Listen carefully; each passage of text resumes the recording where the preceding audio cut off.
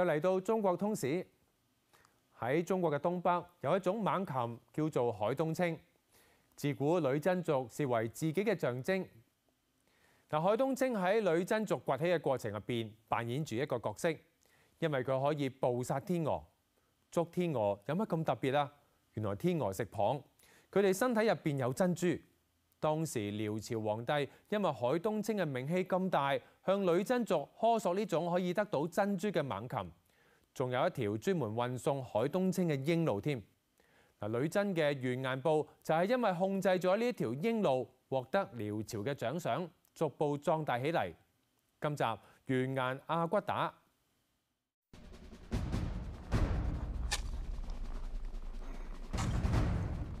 公元一一一二年嘅春天，遼朝天造皇帝喺运同江作冰釣魚。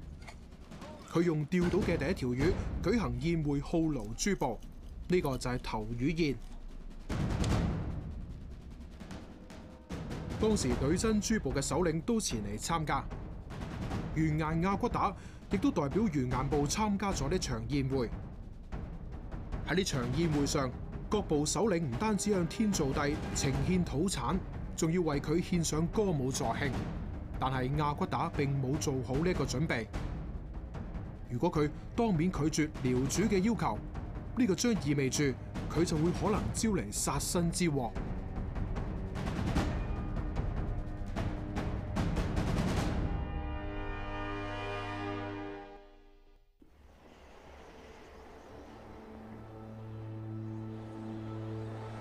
呢度係被譽為東北第一高山嘅長白山，女真人一直將佢視為自己嘅發祥地。早期嘅女真人世代生活喺中國嘅東北，古老嘅肅慎人係佢哋嘅祖先。肅慎好早就同中原各族建立咗密切嘅聯繫。周人認為肅慎係佢哋嘅北部疆土。後漢時肅慎稱為邑流，南北朝時命為密吉，隋唐時就稱為抹褐。遼人同埋宋人稱佢哋為女真或者係女直。遼聖宗時，一部分內附嘅女真人被遷往東京遼陽以東，編入遼籍，稱為屬女真。生活喺黑龍江同埋長白山一帶嘅女真部落，被稱作為生女真，但係生女真並冇被編入去遼籍。生女真大約有十萬餘人，散居岸出虎河畔嘅山谷入邊。細嘅部族大約有千戶，大嘅部族有幾千戶。佢哋彼此獨立，以好鬥著稱，但系分散嘅力量制约住佢哋嘅發展。遼朝中期，生女真人逐步聯合起嚟，形成咗幾個較大嘅部落聯盟。其中完顏部最為強大，完顏阿骨打就係生女真完顏部嘅一員。佢嘅父親赫里勃曾經係完顏部嘅首領。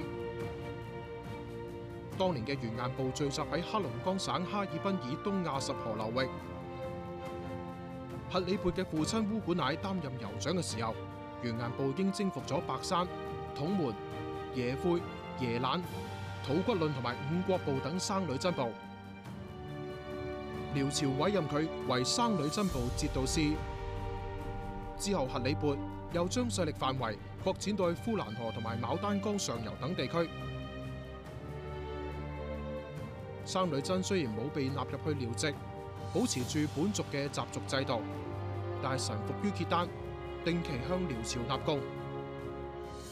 呢個時候，雖然完顏部嘅力量已經逐漸強大，但仲遠遠未能夠同遼朝抗衡，經常受到遼朝嘅欺辱。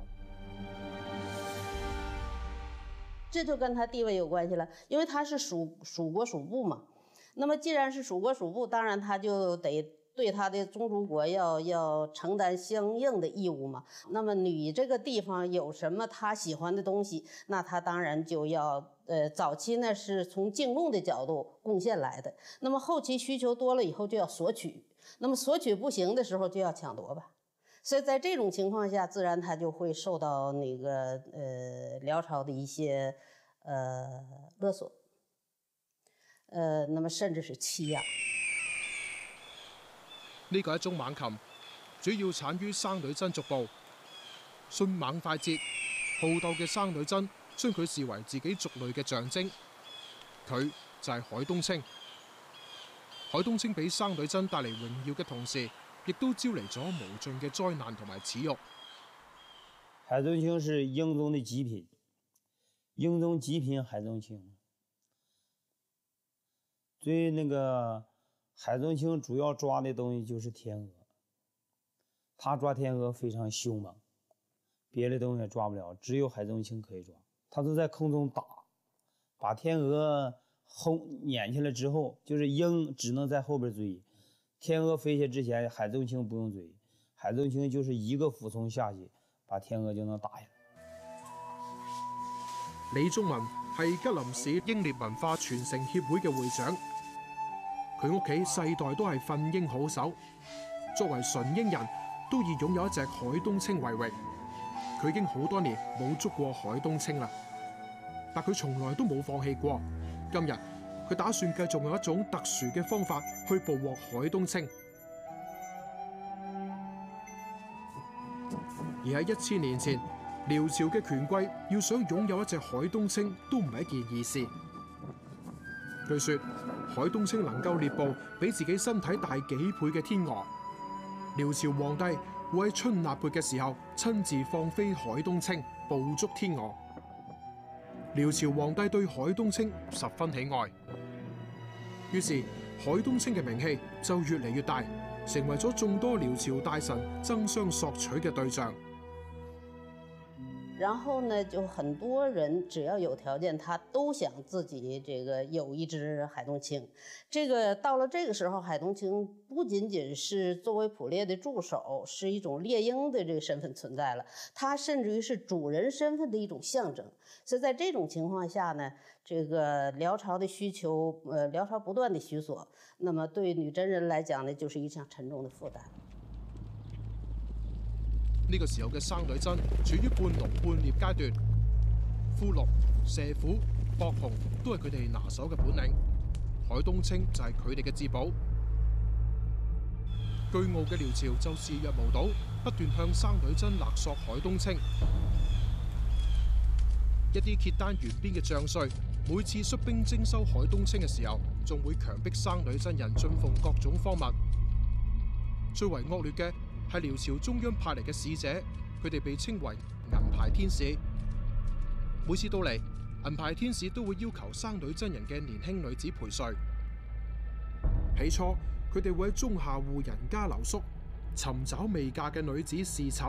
後嚟使者頻繁往來，已婚嘅女子亦都要應召侍寝。後晉的这些民族來講呢，就說婚前的那個性行為，呃，不不大受谴责的，但是婚后不行。那么，呃，辽朝估计原来呢，早期可能人家贡献的一些，给他送来的一些，呃，女子呢，可能都是一些这个未婚的女子，年轻姑娘。那么到了后来呢，他就是说他看上谁了，他可以点名要啊。那在这种情况下呢，不管你结没结婚，那么他要要的话，你都會給送过去。那么这样一来呢，就激起了女真上下民眾的普遍的不滿。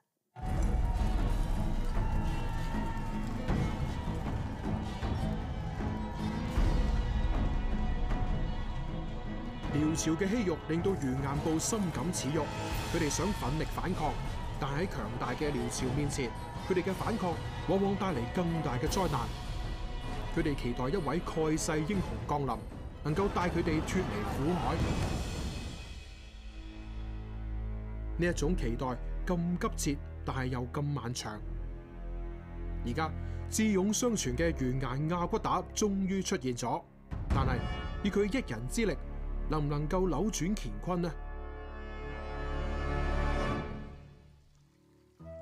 完顏亞骨打出生於公元一零六八年七月一日，從小舉止莊重，臂力過人。後嚟佢跟从父亲克里勃同埋叔叔嬴哥外出征讨，平定乌春、窝谋罕之乱，征伐萧海里，屡建战功，展现出卓越嘅军事才能。克里勃临终前预言：只有呢个孩子能够解决辽朝嘅难题。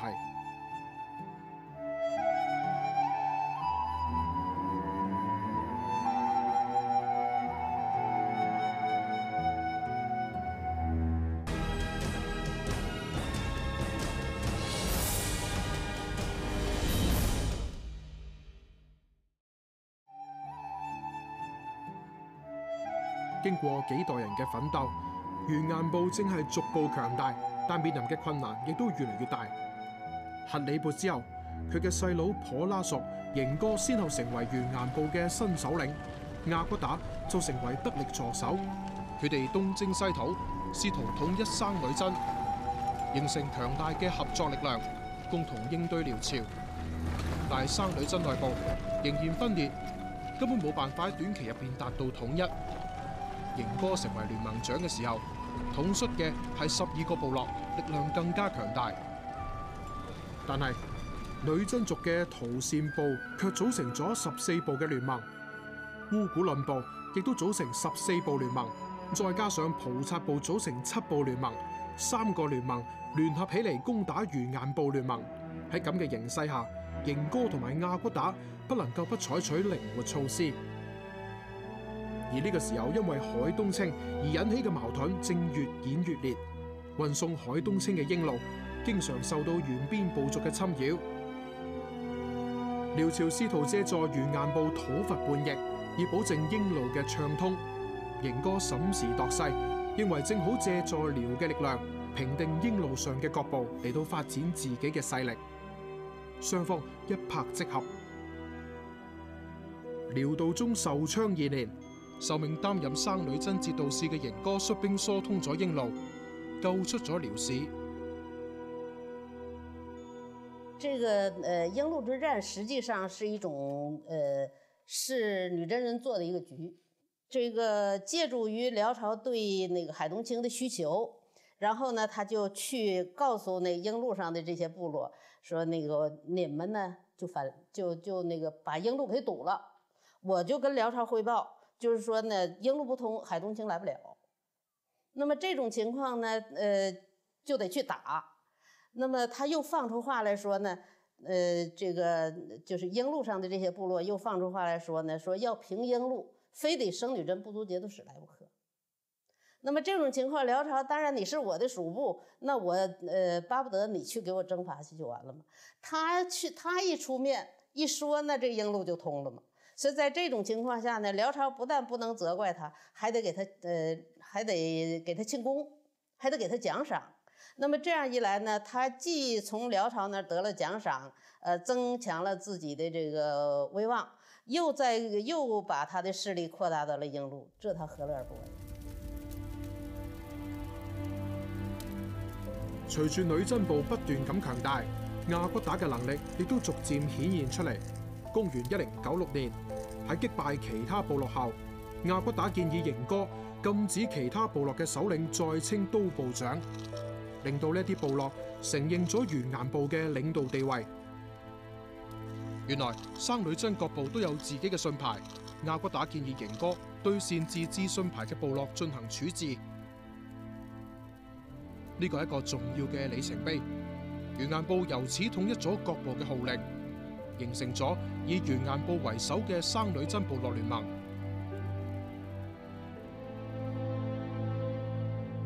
完顏部同埋遼朝嘅緊密合作持續冇幾耐，亞疏事件成為完顏部同埋遼朝關係嘅轉捩點。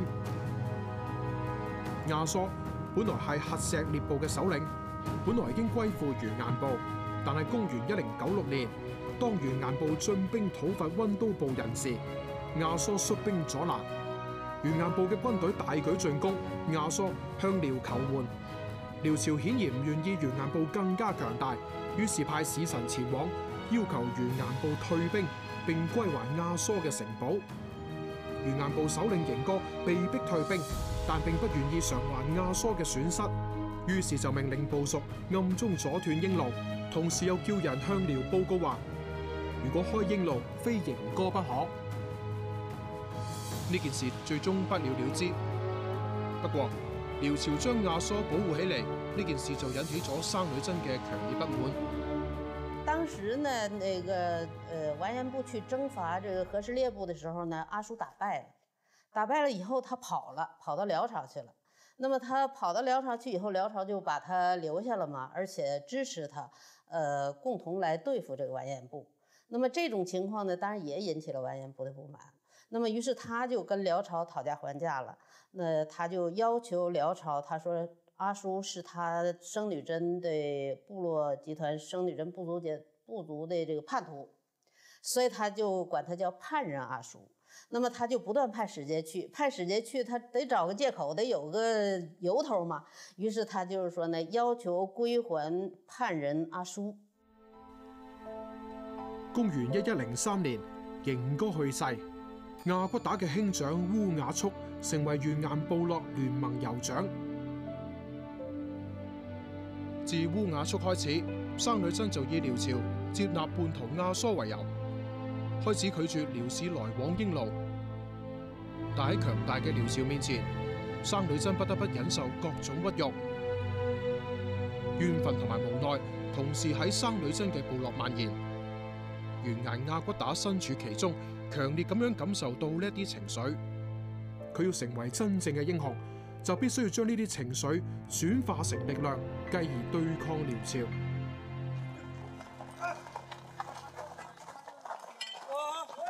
呢度係位於吉林省西部松花江畔前國爾羅斯大草原上嘅查干湖，正喺度舉行緊一年一度嘅東捕。呢一種漁獵文化源於史前，盛於遼今。公元一一一二年嘅春天，辽朝嘅天造帝就喺呢度举行投魚宴。完顏亞骨打代表完顏部参加咗呢次盛会。按照传统习惯，喺宴会入边，各个部落首领都要为天造帝表演歌舞助兴，但亚骨打并冇做准备。呢、个时候嘅亚骨打早已经打定主意。不惧生命嘅危险，佢对天造帝充满仇视，要為生女真出口氣。當天造帝要求亚骨打表演歌舞助興時，亞骨打端坐正視，當面拒絕。喺宴會入边，借得佢拒絕為天造帝表演舞蹈，淨係呢点，佢就會招嚟殺身大祸，甚至為整個完顏部帶嚟災難。天造帝十分不悅，覺得亚骨打胸有大志，以後難免會成為遼朝嘅心腹大患。第二日就要殺死阿骨打。遼朝大臣蕭鳳仙就根本唔將阿骨打放喺眼入边，佢認為冇必要要在意一個咁嘅野蠻人。喺佢嘅勸說下，阿骨打得以保存性命。當完顏亞骨打快馬加鞭返回完颜部嘅時候，佢當面拒絕天造帝嘅消息，已經迅速傳遍女真各部。呢個女真歷史入邊從來都未發生過。阿骨打由此成為女真人嘅英雄。冇幾耐，當烏雅速病逝嘅時候，阿骨打順理成章繼任為生女真聯盟首領，刀撥極烈。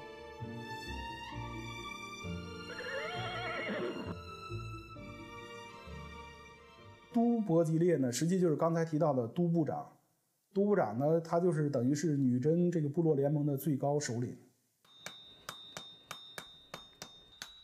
當時嘅完顏部仲係冇辦法同遼抗衡。亞骨打啱啱繼任冇幾耐，就命令佢嘅部下喺各個戰略要地起城堡、收兵器，加緊擴充自己嘅實力。喺亞骨打嘅率領下，每個女真人心入边都有一種莫名其妙嘅興奮，仲有一啲緊張，又十分疑惑，佢哋嘅首領到底要做乜嘢呢？同樣嘅疑惑，仲有辽朝。遼朝統軍司察覺咗女真嘅變化，派專人前嚟詢問。阿骨打以涉險自首為由，予以答覆。但遼朝並唔放心，又派使者前嚟追問。阿骨打轉而要求遼朝將女真嘅叛徒阿疏交俾佢，遼朝反而更加放心。喺佢哋眼入邊，完顏亞骨打仲係驚遼朝用阿疏嚟到制衡佢。既然咁樣，佢哋就更加唔會將亞疏交还。辽朝对他呢，应该说是什么呢？怎么说呢？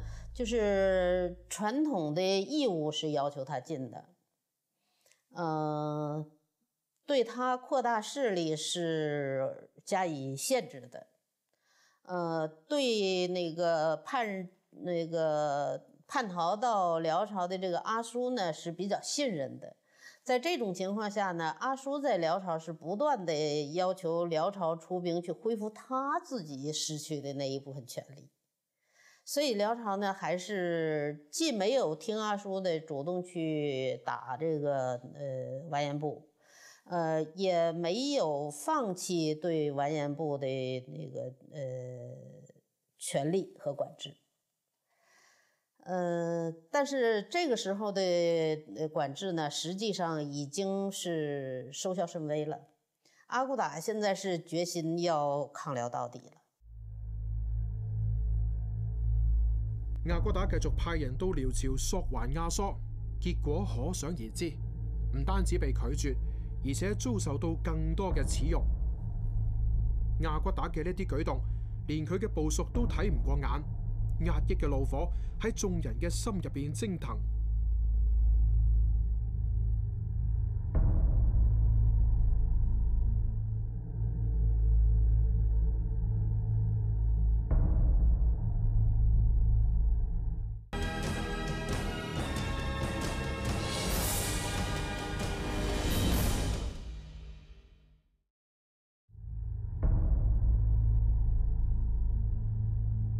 真人當時亦都信奉薩滿教，對神明有住虔誠嘅信仰。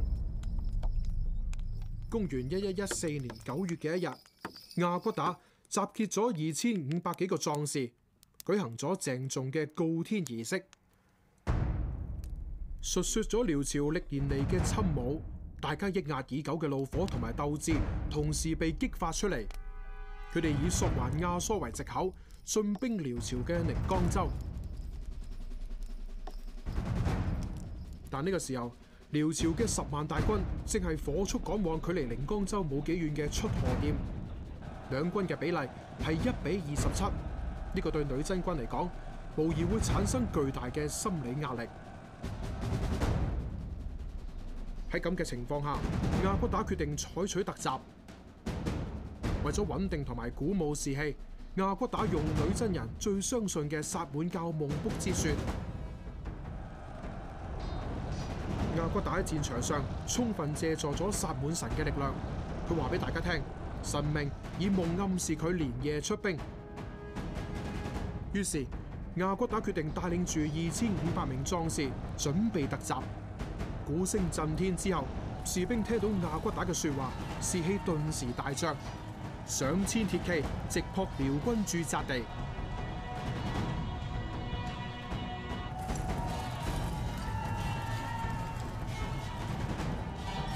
真軍如狼似虎，遼軍措手不及，紛紛潰敗。呢一役，女真俘獲嘅遼兵同埋車馬珍寶不可勝數。亞骨打骗上官屬将士，附近各路軍隊紛紛來歸，亞骨打兵力達上萬之數。結果這個那寧江州这一戰打下來以後，遼朝上下震動了。因为宁江州呢，它是辽朝的东北呃军事重镇，而且也是这个呃辽朝跟女真人这个互市交往的一个重要场所。那么它宁江州一失陷，那它东北的那个防御力量就大大削弱了。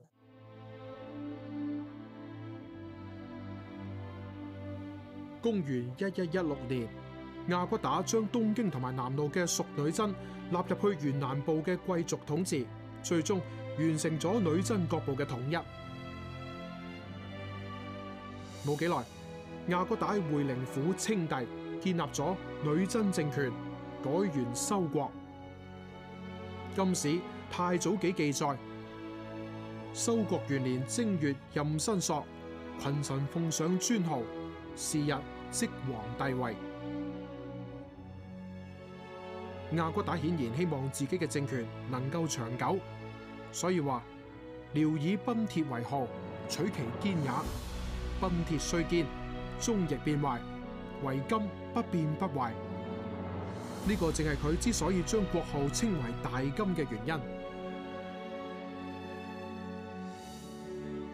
亞骨打建立金朝後，佢嘅政治制度仍然維持住女真族嘅原有特色，喺中央主要繼續實行撥役列制度。伯吉列這個意思呢，就是官的意思。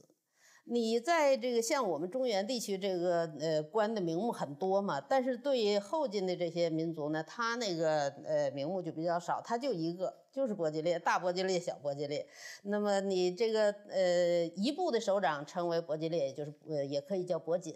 那么呃数部的首长就称都伯吉列，就是大伯吉列。但是当时呢，称都伯吉列的人，他有很女真有很多部嘛。那麼很多部，每一部它都有一個逐步的首領，都有一個都伯吉列。吳克乃被任命為庵版撥役列，亦即係大撥役列。大撥役列輔助皇帝處理軍國大事、對外用兵、工程營建、對外交往同埋天文历算等等。大撥役列之下，仲有國論撥役列、亞買撥役列。則撥役列、兒來撥役列等名目，佢哋共同輔助皇帝處理政事。亞骨打喺地方上仲強化咗猛安謀克制度，呢個係軍政合一嘅制度。猛安謀克係女真原有嘅社會組織，嚟自於因為擄掠同埋围猎需要而設置嘅軍事單位，亦可能係源於早期嘅農村公社。金朝建立后，逐渐制度化，每三百户编为一谋克，十谋克为一猛安。战时统军，平时务农。那么这个组建呢，就进一步把他这个人呢，呃，就是有序的组织起来了。不论是平时从事生产，还是战时领兵打仗，他都有了相应的这个呃组织，呃和这个相应的首领。那麼他指揮起來當然就更方便了，那麼就增既增强了他的戰鬥力，呃，也使他的生產，呃，在平時的生產有了更好的這個呃組織者和領導者。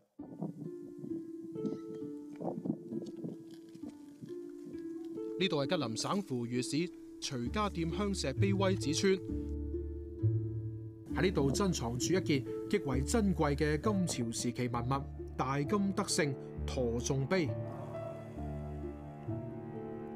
呢個碑係金代第五帝世宗完顏雍為追記先祖女真族傑出首領完顏亞骨打建國功業而立。正面刻有漢字碑文八百一十五字。背面刻有女真碑文一千五百幾字，女真文係當時亞骨打嘅命令下，由完顏希允仿照遼漢文字創制嘅。公元一一一九年，女真文喺金朝頒布實行。呢一塊碑亦都記低咗亞骨打一生人入边最為驚險嘅一場戰爭。亞骨打取得第一次勝利之後，並冇停低腳步，對遼戰爭仍喺度繼續進行。公元一一一五年，喺亞骨打嘅軍營入边，再次跳起咗薩滿舞。之前亞骨打率軍攻陷咗遼朝嘅軍事重鎮黃龍府，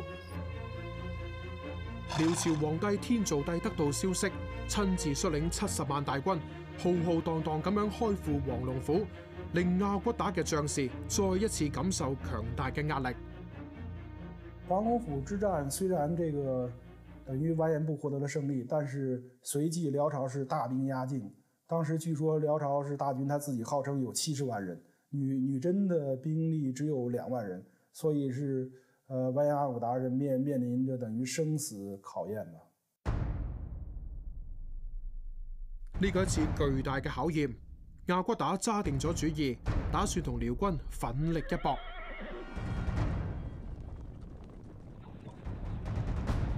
但係真實嘅歷史總係有好多令人哋意想唔到嘅時候，仲未打仗，遼軍嘅內部就掀起內讧。遼軍嘅先鋒耶律张道臨陣翻返到遼都，打算另立皇帝。天造帝被迫撤退。兩日後，遼軍撤退嘅消息傳到去亞骨打軍中，大家振奮萬分。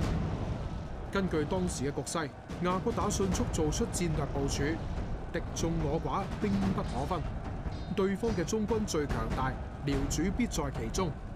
只要集中兵力打败遼軍嘅中軍，亞骨打嘅大軍就可以得勝。於是亞骨打同埋佢嘅將士又凝聚埋一齊，好似鋒利嘅刀刃一樣，刺向遼軍嘅核心。遼軍全線潰敗。呢一役係中國戰爭史上又一個以少勝多嘅典型案例。黃埔之戰以後，呃，阿骨打的目标是改变了。原來他是建國自立，脫離遼朝統治。現在他看到，他不僅僅可以已經自立了，而且他可以發展壯大自己的勢力，於是他就把滅遼作為自己的目標了。呢個時候，完顏亞骨打已經佔有優勢，但仲遠遠趕唔上最後嘅勝利。遼朝幅員遼闊，如果對方能夠團結合力，佢嘅實力仍然遠遠超過大金。亞骨打始終冇放鬆警惕，喺論功行賞嘅同時，佢都嚴格執行軍紀，深知道人心先至係最重要。佢下達詔令，自破遼兵四方來降者眾，而家休率。契丹、係、漢、渤海係遼籍女籍、失位、達魯古、日野、鐵尼諸部官民，以降或者為軍所俘獲、逃遁而還者，勿以為罪，其酋長刑官之，且使從宜居處。喺新佔據嘅地方，亞骨打宣布廢除遼法，減少賦稅，以安民心。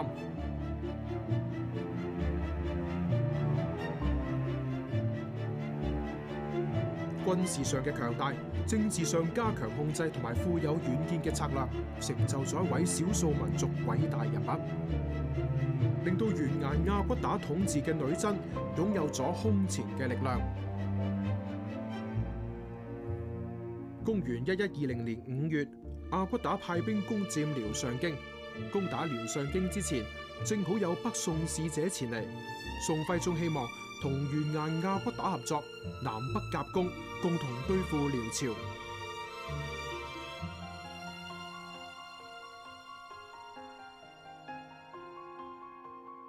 對於亞骨打同埋大金政權嚟講，呢件事冇嘢非常有利嘅。但係亞骨打並冇急住就答應，相反，佢帶住宋朝嘅使臣嚟到遼上京，俾宋使親自目睹女真軍點樣輕而易舉咁樣攻城略地，增加咗談判嘅分量。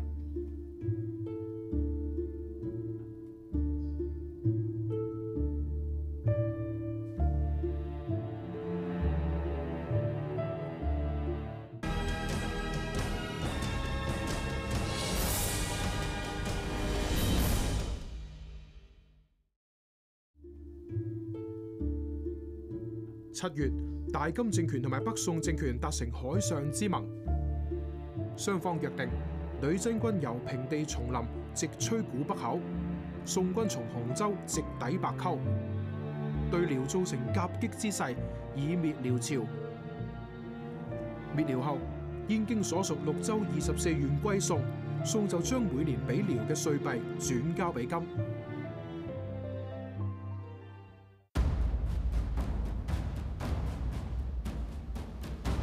全面滅遼嘅序幕已經拉開。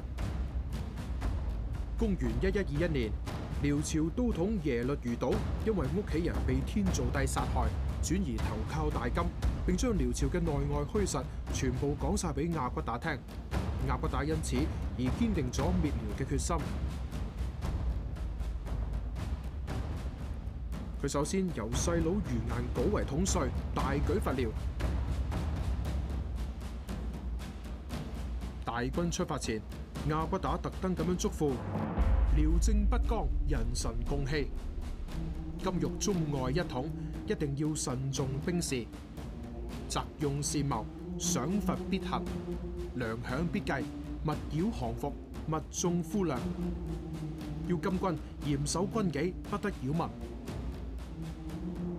按照呢啲政策，金軍所到之處並冇受到強大嘅阻擊。几耐，金軍佔領遼中京同埋遼西京，遼天造帝逃往甲山，耶律大石等人擁戴耶律純喺遼南京建立咗北遼政權。喺金軍大舉南下嘅同時，按照海上之盟，北宋軍隊大舉北上攻打遼軍。但令金軍不解嘅係，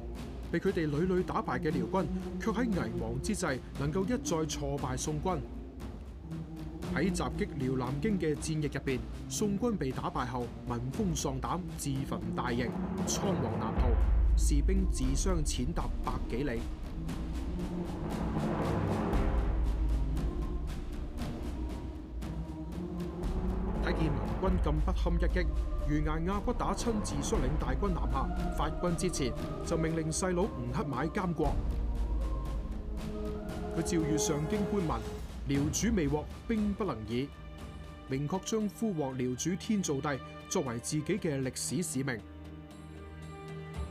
佢仲詔令，凡係喺趙後能夠出手投降者，一律免除以前嘅罪過，否則殺無赦。公元一一二二年十二月，亞骨打嘅大軍迅速攻佔咗南京，遼朝百官到軍門叩頭請罪者一律釋放，同時又採取咗一系列安民措施。阿骨打的打對遼朝打仗呢，他是做了這樣幾方面的準備。首先，他是要鞏固自己已經取得的這個勝利成果。所以他对境内的已经控制的各部落呢，就是要给他们一些那个安抚，呃，让他们能够那个统这个地区能安定下来，这是一个方面。而在对外战争的过程中呢，他也有各有不同的那个方式，而来鼓舞士气和增强自己的这个呃盟军吧盟友。所以他对像那个渤海人。他就派使臣去，在黃龍府之戰以後，那麼他不是俘虜了一些渤海人吗？有一些渤海人投降了嘛，於是他就派渤海人呢去招降這個呃原來的那個呃渤海人，呃和這個呃淑女真，呃用招降的手段。公元一一二三年六月，對於完顏亞骨打嚟講係非常振奮嘅日子，佢豪情萬丈。要一鼓作氣擒獲遼天造帝，喺佢眼中，只有擒獲遼主，先至意味住遼朝嘅徹底滅亡，金朝嘅徹底勝利。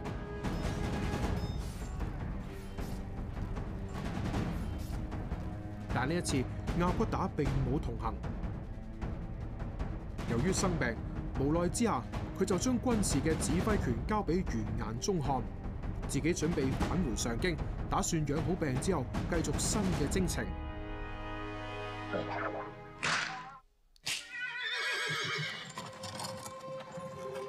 北宋嘅腐敗令到亞骨打睇到新嘅開戰時機，因此亞骨打嘅目光更加開闊咗。對佢嚟講，除咗西部，中國南部呢一塊富庶嘅土地具有更大嘅吸引力。可惜嘅係，當年八月二十八日，當亞骨打行到去寶島洛西行宮嘅時候，死神降臨。當時完顏亞骨打正喺返回上京嘅路上，佢睇到大好嘅河山，感慨萬千。但就喺呢個時候，佢波瀾壯闊嘅一生突然間畫上句號。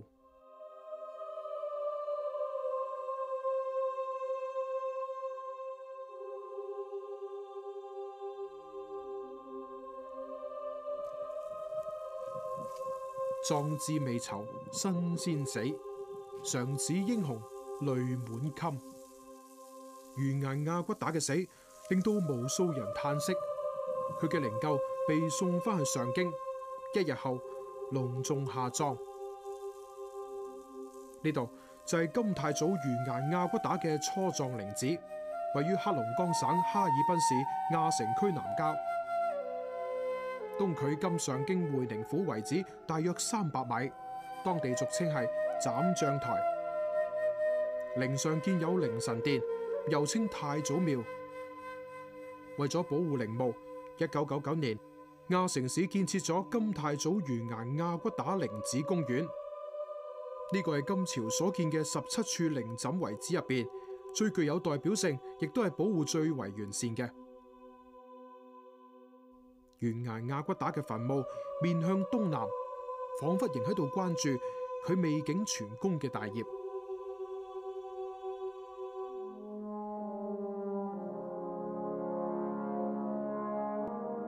完顏亞骨打嘅繼任者冇令到佢失望，佢哋堅決咁樣執行咗亞骨打事先謀劃嘅策略。完顏亞骨打並冇確立子嗣繼承制度。亞骨打去世後，佢嘅細佬擔任庵班勃極烈嘅吳克買職位，佢就係金太宗。亞骨打親征時，吳克買曾經監國，一切嘅事情都由吳克買根據本朝舊制權宜處置。呢個時候嘅金軍力量空前強大，金太宗繼續將目標對準遼朝天造帝，而天造帝已經係眾叛親離、苟延殘喘，冇幾耐就被俘虜，契丹族建立嘅遼朝宣告滅亡。唔單止係咁，當北宋政權嘅無能完全暴露喺金太宗眼前時，佢就尋找借口南下攻宋。佢哋繼續保持住完顏亞骨打時期嘅精悍锐利，喺戰爭中勢如破竹。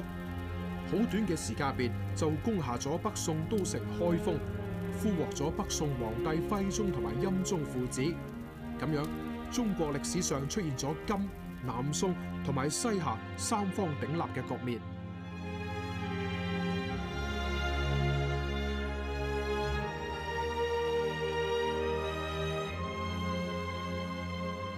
呢個係中國歷史上嘅一段傳奇。從公元一一一四年亞骨打率領二千五百幾人發動嘅第一場戰役開始，到一一二七年北宋滅亡，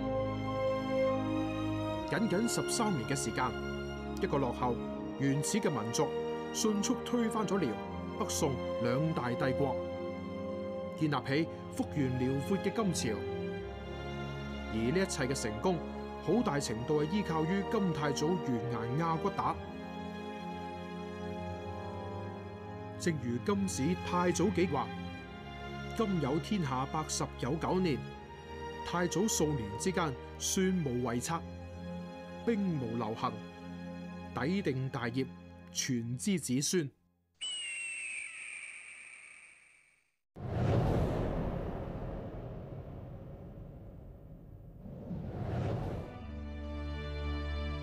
呢度係黑龍江省哈爾濱市亞城區嘅金上京會寧府遗址，係金朝初期嘅都城。呢個偉大嘅王朝，正係從呢度開始走向繁盛。如今已經被厚厚嘅積雪所覆蓋，好難揾到昔日嘅遺跡。點解咁難尋找？並唔係因為年久失修或者係戰亂破壞，而係由於金朝嘅第四位皇帝海陵王完顏亮。公元一一五三年。完顏亮認為金朝嘅疆土廣袤而京师偏處一隅，不合時宜。佢準備將都城從上京遷到去燕京，但遷都之舉當時受到女真貴族嘅強烈抵制。海陵王於是快刀斬亂麻，將金上京會寧府夷為平地。呢、這個咁嘅做法，令到金宗室貴族冇辦法翻返上京，只能够跟隨海陵王遷到燕京。從此。燕京就改称为中都，亦即系今日嘅北京。金朝统治中心自此由东北内移到去汉族地区，亦都系北京历史上第一次成为王朝首都。下一集，金朝兴亡。